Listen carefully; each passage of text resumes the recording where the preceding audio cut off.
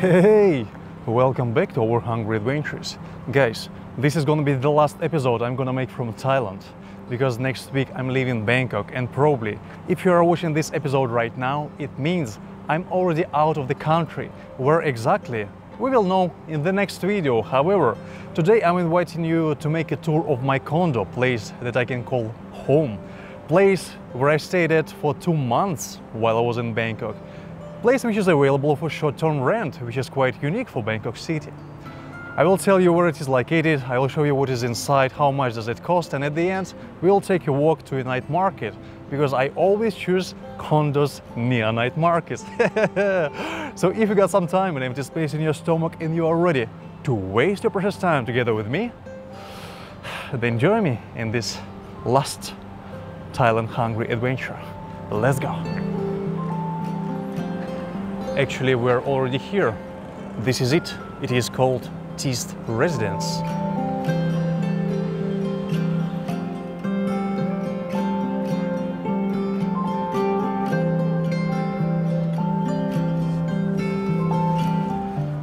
Yeah, shower needed, but I don't ride much in Bangkok because traffic jam is just insane. In the morning, in the afternoon, in the evening, it's just unbearable, which is why I prefer to use MRT, which is metro, underground train, or SkyTrain, BTS, or use Grab or Bolt applications to book taxi, to book motorbike taxi. Bolt is something relatively new, which is even cheaper than Grab. So yeah. you don't need motorbike in Bangkok to be honest. So this is the parking area for cars and for bikes.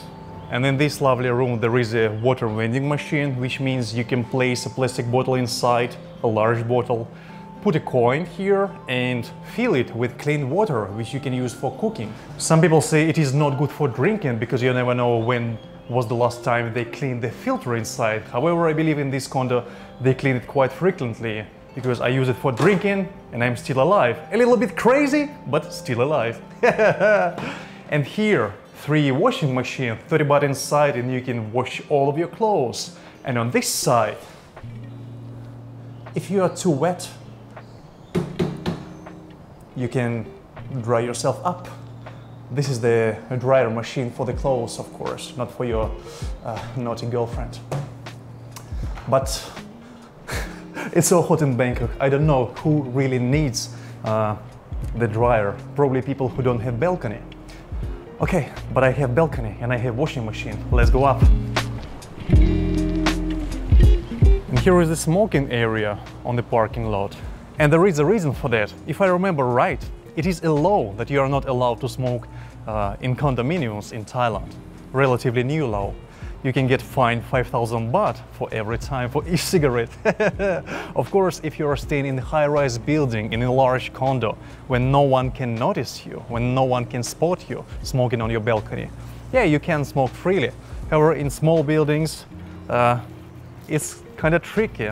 Besides, as a person who don't smoke, I quit smoking when I was like 24 years old, 25 years old, uh, and now I just can't stand smoke. I, to me, it just mm, every time when I feel it.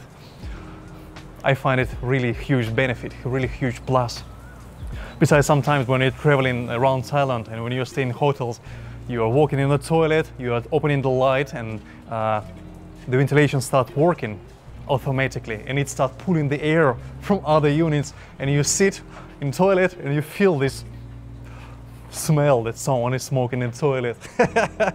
but here, no, pure Bangkok air with all these tiny particle PM 2.5, the most delicious.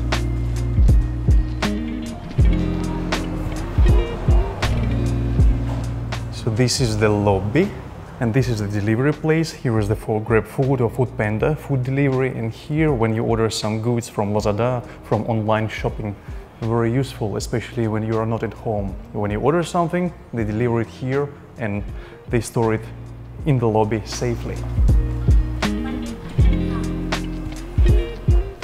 And here is your post box. So every month you can find here your electric bill, your water bill, or some, some mail, if you got some. And this is the second floor. On the second floor there is a co-working space two tables, TV, air conditioning, and the library. There are actually some books.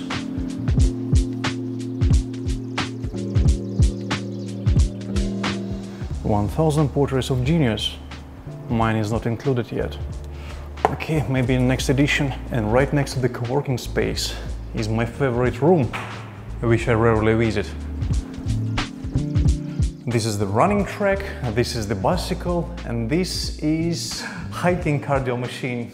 When you want to go in the forest, stay in a tent, this is the machine you use to prepare your body for a trip.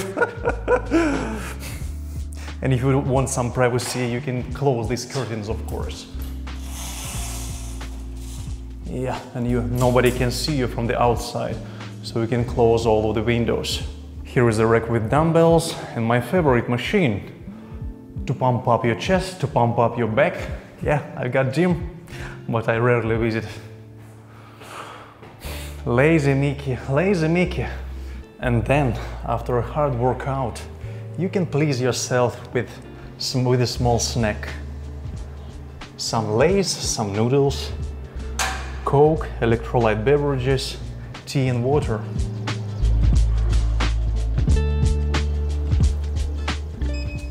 All right, welcome. Ta-da! This is my home, guys. And these are my cats. Let's say hello to them.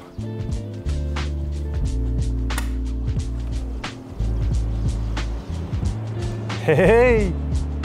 Hey! No? Zero reaction.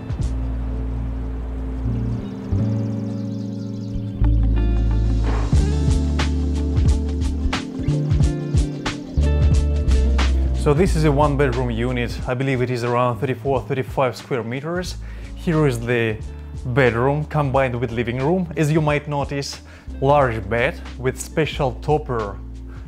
And you know how important we and you know how important uh, relatively soft bed for me. Probably this is the reason why I spend so much in bed.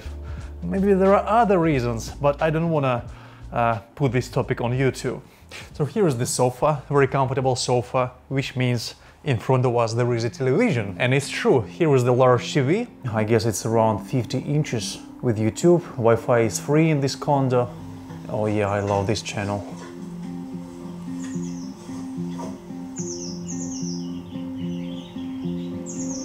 Here is some of my stuff. I actually don't have much things, I just decided to put something so that it would look like someone is actually living here in this condo. Here is my silver button for 100,000 subscribers. Oh, it's been a while. I would put it somewhere here, it would look good, but you are not allowed to drill walls in condo you don't own. Here is a tripod and lantern that I bought on Lazada for 250 baht, which has two modes and is really, really cool. So sometimes when I stay home, I turn off the light and enjoy television. Something like this.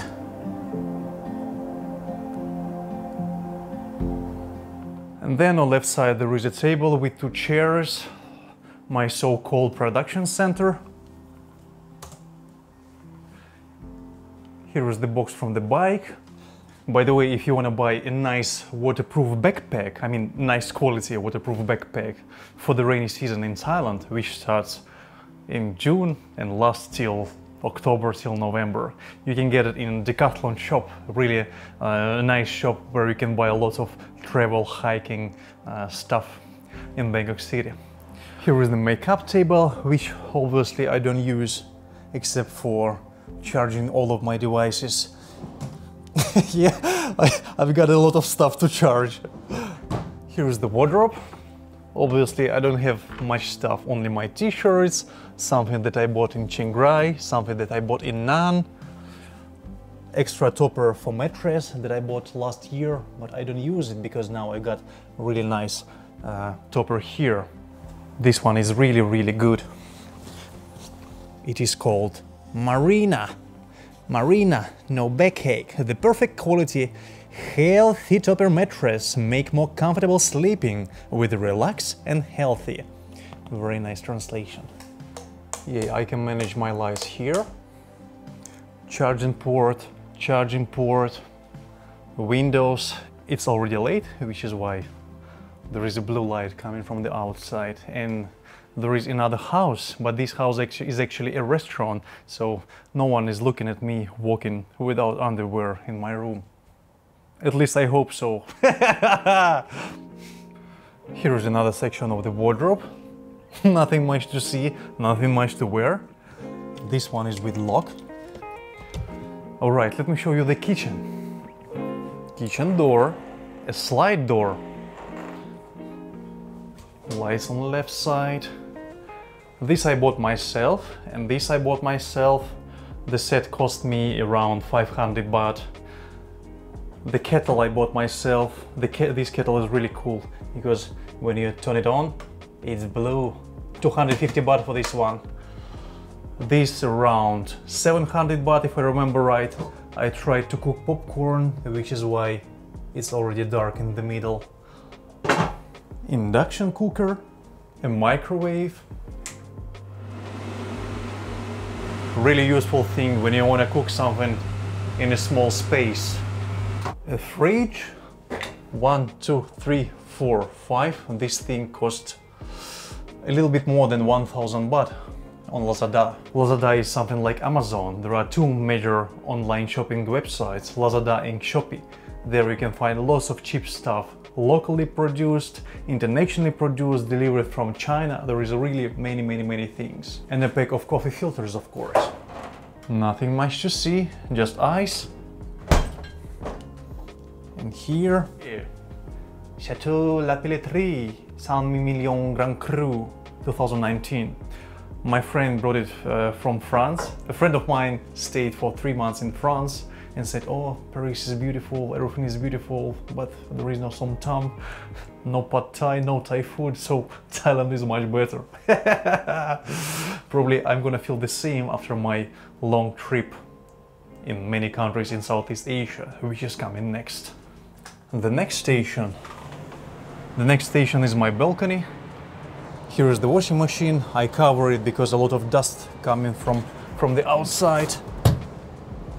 Nah, only my dirty underwear inside. Air conditioning. And this one, this is actually, I bought myself. It cost, I don't know, 150 or 200 baht. And you don't need to drill the wall because uh, there is special mechanism. So you just place it between two walls and then rotate one end to extend. That's it. At first I thought it's not reliable, but it can handle really, really heavy load.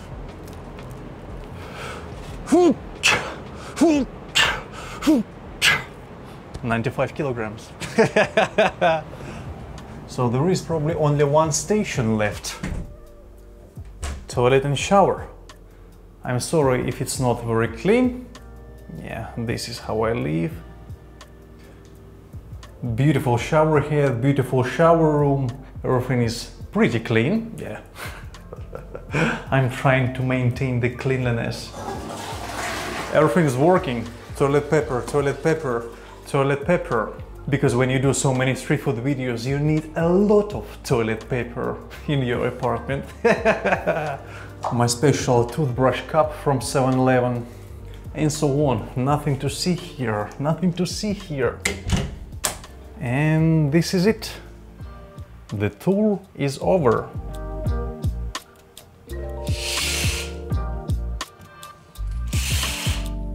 That's it. And since it's already late, let's take a walk to night market.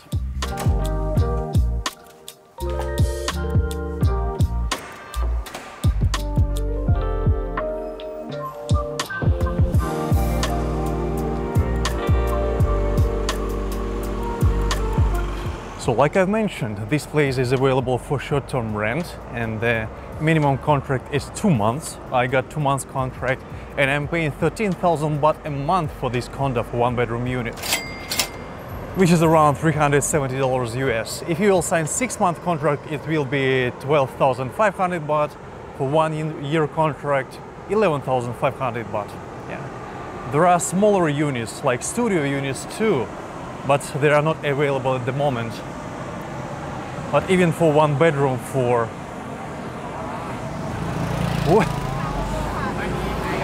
for short term, I believe it is a pretty good price. Of course, you can find condo for 8,000 baht a month, for 7,000 baht a month, for 6,000 baht a month. Huge condo with larger uh, fitness center with swimming pool, but you're gonna need, you'll have to sign one year contract. But if you don't, but if you're coming to Thailand, if you're coming to Bangkok for holidays, and if you don't want to spend a fortune paying crazy money to Airbnb or if you don't want to stay in hotels, if you just need a place to stay for a couple months, place with kitchen, quiet place, then it might be a great option for you. Yeah, there is no swimming pool. I probably have mentioned it, and probably it is the reason why why it is so quiet. But personally, I don't like swimming pools. I yeah, you, when people are coming to Thailand, you need to have this holiday mood, like this resort atmosphere. So you need to have a swimming pool, even if you just I don't know, like three on four meter, meters reservoir, a basin for for kids and frogs and birds. yeah, there are always birds, there are always pigeons drinking this water or pooping inside.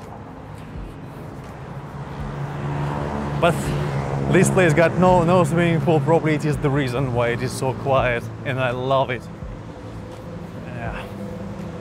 If you want to have a nice swimming pool, you gotta rent a condo in a high-rise building and sign a one-year contract as usual. But two monks in the city center and look where we are. This is Ratchada Road, this is Swiss Hotel, uh, Huai Khwang Huayquan MRT station, the metro station, is just in two minutes walk from here. This is the not the city center, but the heart, the heart of Bangkok, in my opinion. In this direction, there are shopping malls, there is Central World, there is the street, the street Ratchada, and this is the place we're going right now, because there is a market. In the last couple years, in the pandemic years, it was opened not really regularly, just one time a week or three times a month, something like that. However, now it's every day. Let's walk and check it out.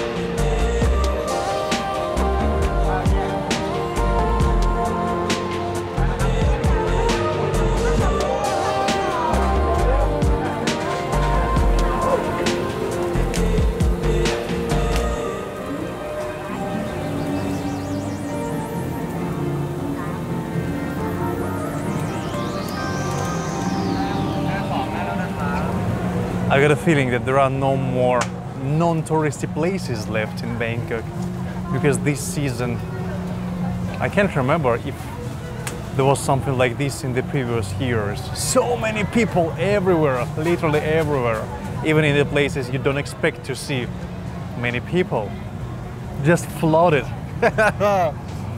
because Thailand's been closed for such a long time, people were unable to travel, and now when all the restrictions have been lifted in Thailand and abroad, everyone has, has forgotten about this pandemic. Virus? What? What virus?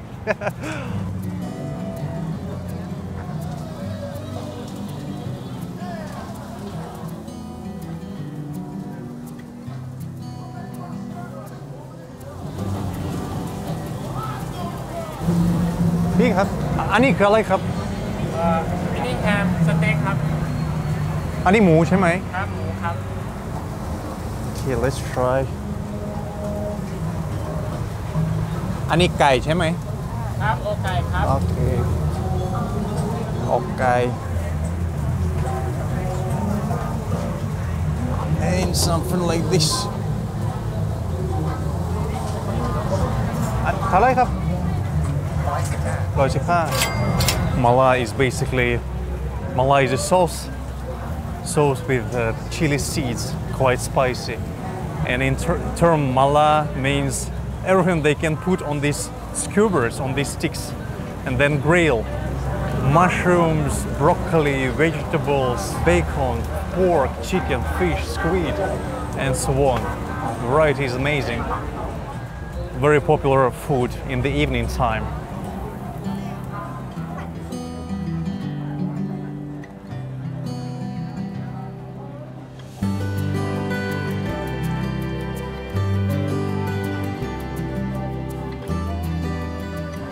Smells really good.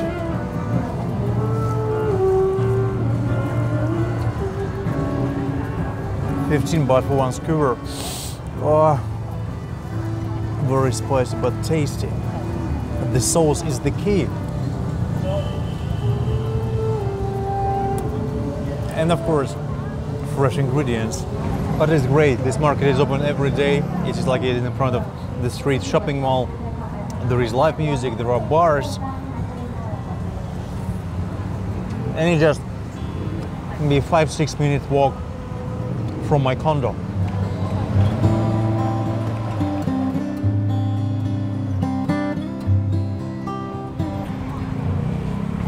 Swadee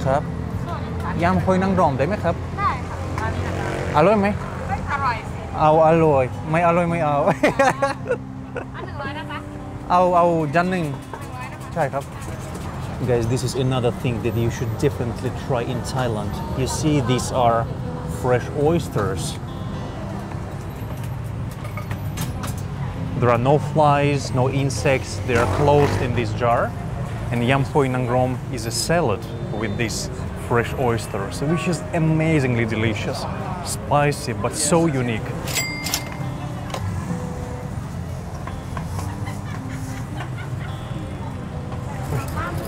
ขอบคุณมากครับ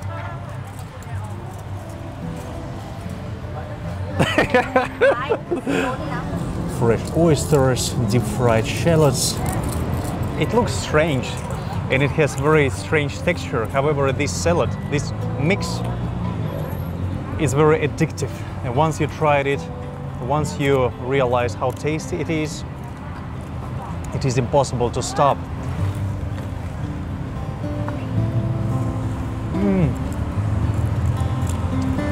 Yeah, it's good here.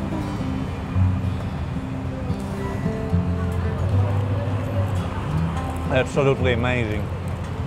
So creamy, so soft, and this deep fried onion, the shallots, they're so crunchy.